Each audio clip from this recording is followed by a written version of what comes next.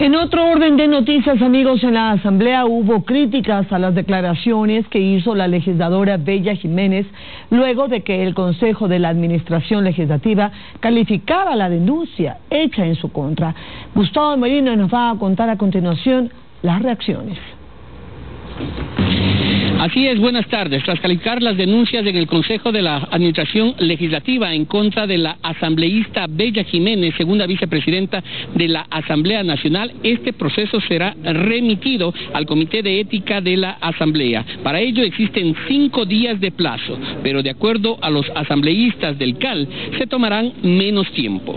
Hoy vamos a insistir en que se notifique inmediatamente, porque este es un caso realmente pues que no amerita en ningún sentido que se dilate el envío de un expediente que ya ha sido adecuadamente calificado por el Consejo de Administración Legislativa.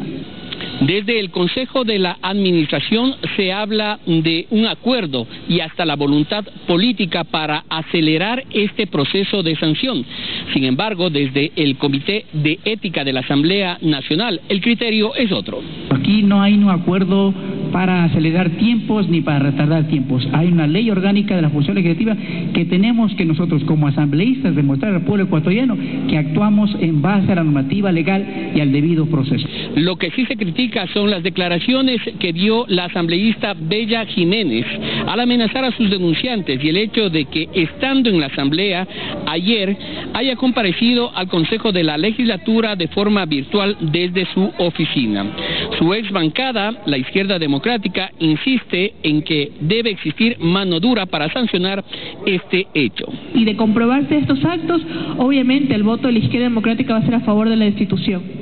Por ahora entonces espera que del CAL se remita este proceso al Comité de Ética de la Asamblea Nacional, lo que podría ser hoy mismo y el proceso demore menos de los 45 días que legalmente tiene. Esta es la información que tenemos. Retornamos de Estudios Centrales con más información. Buenas tardes.